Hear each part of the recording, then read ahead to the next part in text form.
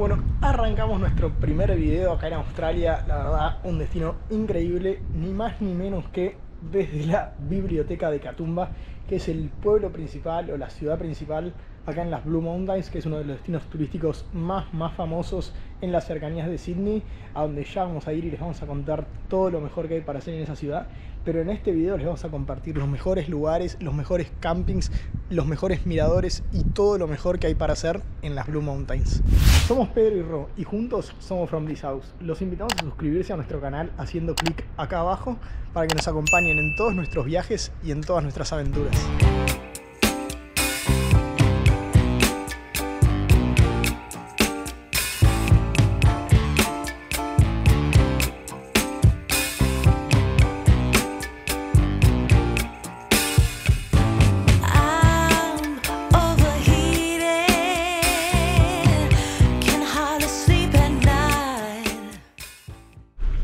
Contábamos hace un ratito, estamos en Ketumba, ciudad más importante de las Blue Mountains, y en el día de hoy les vamos a estar compartiendo algunas de las mejores cosas para hacer. Vamos a estar yendo a unas cascadas que hay acá en la zona, vamos a estar yendo a un mirador que es muy muy lindo para ver el atardecer, y después les vamos a estar compartiendo uno de los campings más lindos también de esta zona para que ustedes puedan darse una idea de cómo es el estilo de vida, qué se puede hacer, precios y todo lo que tiene que ver con esta zona de Australia.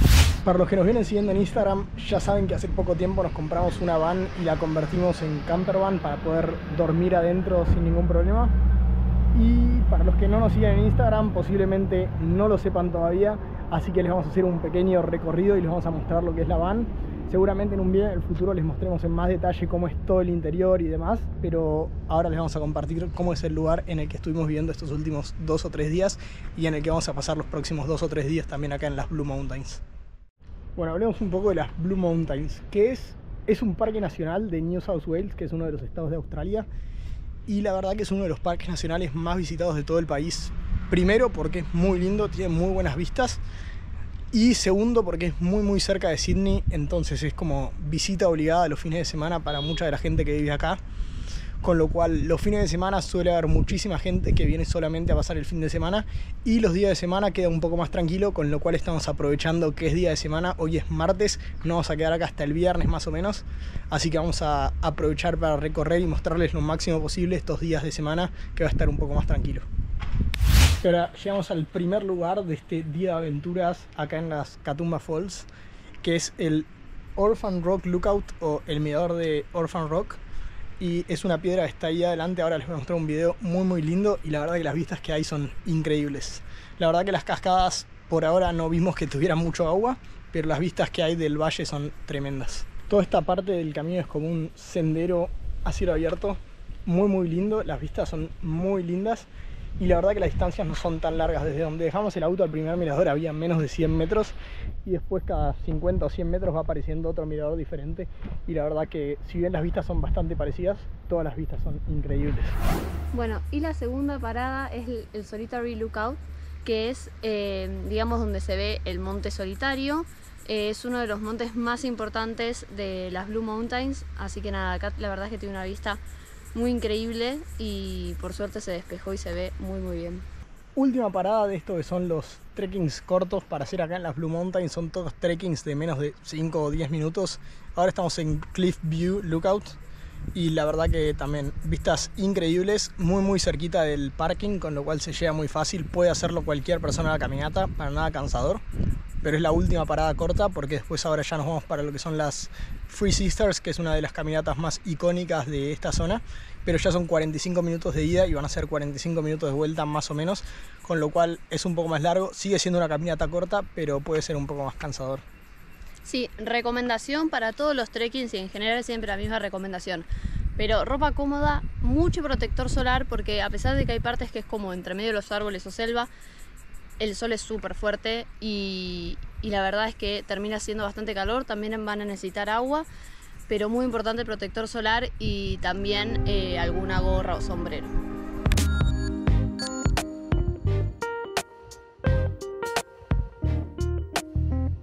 Bueno, ahora llegamos a Echo Point, que es en realidad el mirador con las mejores vistas de las Free Sisters. Después el camino sigue y se puede llegar hasta la base. Incluso hay una escalera que baja y uno se puede meter por adentro del valle para seguir viendo las montañas. La verdad es que la mejor vista realmente se tiene desde Eco Point.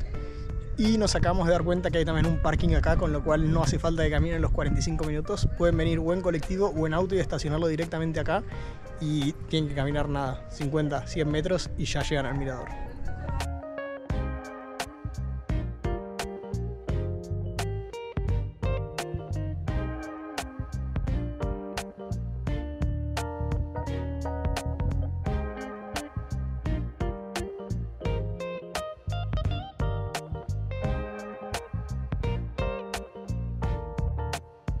Bueno, ya estamos volviendo para lo que es el inicio del sendero. La verdad, una caminata muy, muy linda. El clima nos acompañó un montón porque está soleado, pero no está haciendo mucho calor, así que eso nos vino muy, muy bien. La caminata es bastante larga, más o menos una hora de ida, una hora de vuelta, pero no es tan cansador, la verdad. Es bastante escalera, es un camino bien marcado, con lo cual, nada, bastante fácil y las vistas valen muchísimo la pena. Así que súper recomendado si están en Sydney que vengan a hacer una escapada de un día, aunque sea para este lado. O lo que va a ser nuestro hogar por la noche de hoy, que es Old Fort Reserve. Es una reserva y zona de acampe bastante grande, donde entran alrededor de 20 autos. Y vamos a pasar acá la noche de hoy.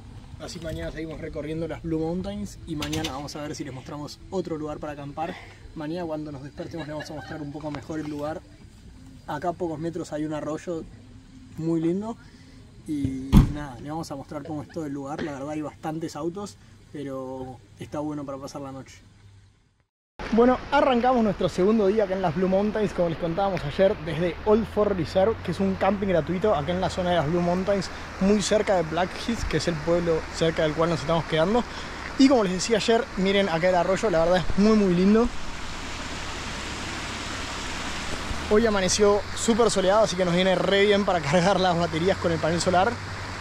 Eso es una desventaja, si bien el camping es gratuito, no tiene agua, aunque tenemos el arroyo y podemos filtrar el agua. Y tampoco tiene electricidad, pero nosotros tenemos el panel y las baterías, así que no hay ningún problema.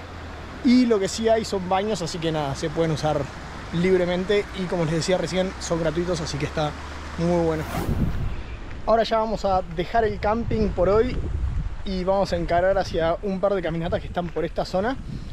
Una que se llama el Evans Lookout o el Mirador de Evans, que tiene muy buenas vistas. Y después vamos a ir a una caminata que se llama la caminata del Gran Cañón, que se bajan unas escaleras y se va todo por abajo, por adentro del valle. Y la verdad también es muy, muy linda. Así que ahora vamos a ir para allá y les vamos a ir compartiendo todo de estas dos caminatas. Bueno, ya llegamos al parking para hacer el recorrido a Evans Lookout y al Gran Canyon Valley. La verdad es muy cerca donde nos estamos quedando, fueron 15 o 20 minutos con el auto nada más y ya estamos listos para hacer esta caminata que por lo que leímos en los carteles son alrededor de 3 o 4 horas ida y vuelta, así que vamos a ver cuánto tardamos, vamos a ver los paisajes y hoy también nos trajimos algunas cositas para comer, así que vamos a pasar acá un rato del día de hoy.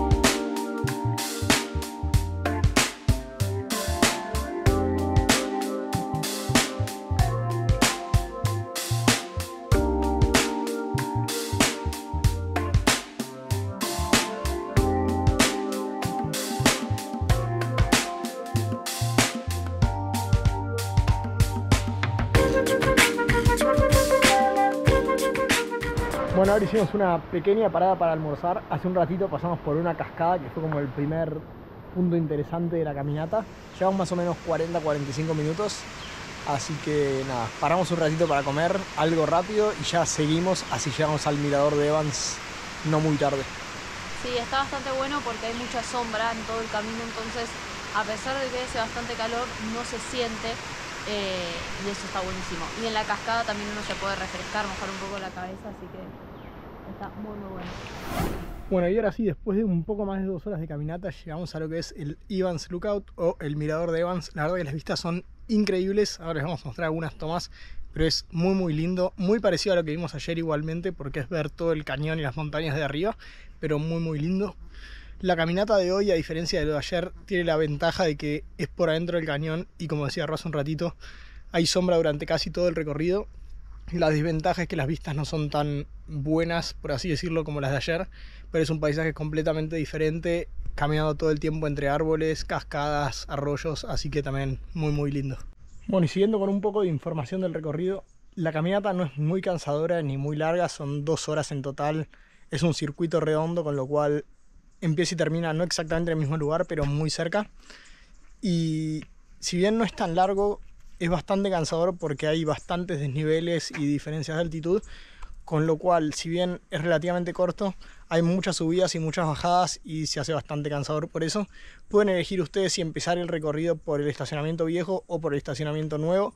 Si arrancan por el estacionamiento viejo, que es por donde arrancamos nosotros, van a tener una bajada bastante pronunciada y larga al principio, pero después al final van a tener una subida muy muy pronunciada de más o menos 20 minutos, media hora, que es muy cansadora y va a estar al final del recorrido.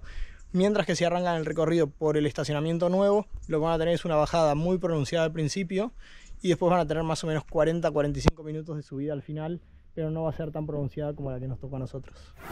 Bueno, ahora ya llegamos de vuelta a la van, así que terminó el recorrido por hoy. La verdad, bastante, bastante cansador.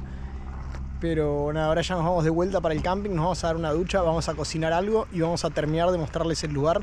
Todavía no tenemos decidido si vamos a ir al mismo camping en el que estuvimos ayer o vamos a ir a uno que está un poco más cerca, que es un poco más chico. Si conseguimos lugar, seguramente nos quedemos ahí y si no, vamos a volver al mismo en el que estuvimos ayer. Pero ya les vamos a ir mostrando y contando sobre los diferentes campings que hay.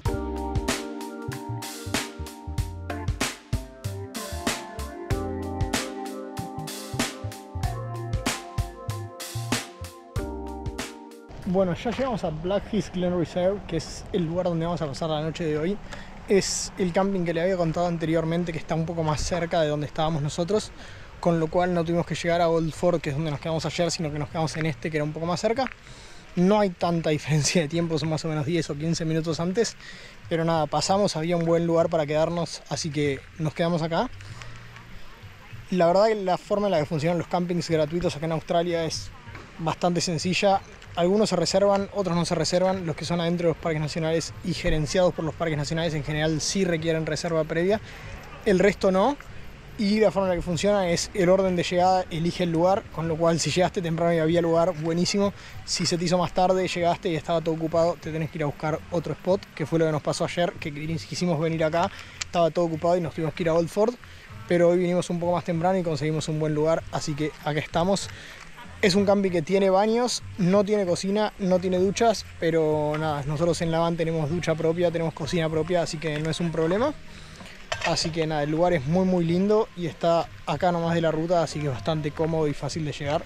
Nos vinimos a lo que es el Lockyer's Track Campground, que se llama así justamente porque es donde empieza un sendero con el mismo nombre y también el sendero a la cima del Mount York, que es donde estamos ahora nosotros, que tiene un mirador muy muy lindo de todo lo que es el valle de los alrededores pero está súper nublado y no se ve nada. Pero suponemos que en un día soleado se vería súper, súper lindo porque si alcanza a ver algo, la cámara no lo llega a captar y lo poco que se ve es muy lindo. Hay un valle súper verde, muchos árboles, muchas lagunas, así que es muy, muy lindo. Para subir acá desde el campamento tuvimos que hacer una caminata de alrededor de 3 kilómetros. Los dos primeros kilómetros bastante tranquilos, aunque estaba un poco embarrado y pantanoso por la lluvia de estos últimos días. Pero el último kilómetro era súper empinado, muy difícil, muy en subida. Así que se hizo un poco cansador, pero nada, acá estamos y ahora nos toca disfrutar un poco de las vistas y ya volver para el campamento a descansar un rato. Bueno, ahora sí llegamos a la cima de lo que es el Mount York y parece un chiste, pero hay un montón de infraestructura acá arriba. Hay un montón de monumentos conmemorativos a lo que es el Mount York, incluso hay un campamento acá arriba, pero entran muy poquitos autos, así que vamos a volver a bajar y hoy seguramente pasemos la noche abajo. Capaz mañana venimos a probar suerte acá arriba, pero hay solamente lugar para tres autos y estaban todos ocupados, así que no va a ser hoy, capaz mañana. Pero bueno, vamos a contarles un poco lo que es la historia del Mount York porque parece que es un lugar bastante importante históricamente hablando acá en Australia. Bueno, este espacio es muy importante históricamente porque alrededor de 1810-1815 fue donde los exploradores australianos se dieron cuenta que eh, había algo más allá de las Blue Mountains. Ellos venían cruzando todas estas montañas y a partir de este punto se dieron cuenta que esta era la última montaña y a partir de eso ya se encuentra la llanura, se ve toda la llanura y empieza otro terreno, entonces se dan cuenta que a partir de ahora hay algo más allá de estas montañas. Incluso hay una personalidad muy destacada acá que, que van a dar muchos caminos, rutas, senderos, incluso miradores con su nombre. y nos acabamos de enterar que Cox fue la primera persona que logró abrir o crear una ruta a través de las Blue Mountains. Sí, y justamente es esta ruta que nosotros pensábamos que no había una ruta y es esta ruta que está, está toda pavimentada, asfaltada y que la verdad está muy muy buena. Bueno, y todos los monumentos son en conmemoración al primer cruce de las Blue Mountains, que fue como dijimos antes en el 1810, 1815 más o menos, y por eso es que están todos los monumentos acá. Y llegamos a Eddy's Rock, que la verdad es un lugar que tiene las mejores vistas, es a 200 metros más o menos donde estábamos antes, pero tiene una vista mucho más panorámica eh, y mucho más linda y está muy muy bueno. Bueno, y arrancamos la bajada o el descenso, vamos a ver cómo nos va, porque la verdad es que era bastante empinado y lleno de piedras, así que vamos a ver cómo nos va. Y nada, es la, la otra parte es mucho más linda, esta parte es como más tenebrosa y más fea. Siempre empieza a llover, todo más oscuro, los árboles están quemados porque hubo un incendio hace relativamente poco. Así que vamos a ver cómo nos va. Para que se den una idea, era pendiente del último kilómetro que tuvimos que hacer para subir y también ahora para bajar. Miren, nosotros estamos acá en la superficie y aquella roca que ven allá arriba, más o menos por ahí, ahí es hasta donde llegamos. En menos de un kilómetro se suben 250 metros más o menos.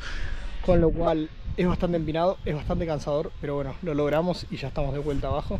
Ahora nos quedan 2 kilómetros por la llanura, por así decirlo. Así que la parte más difícil ya pasó.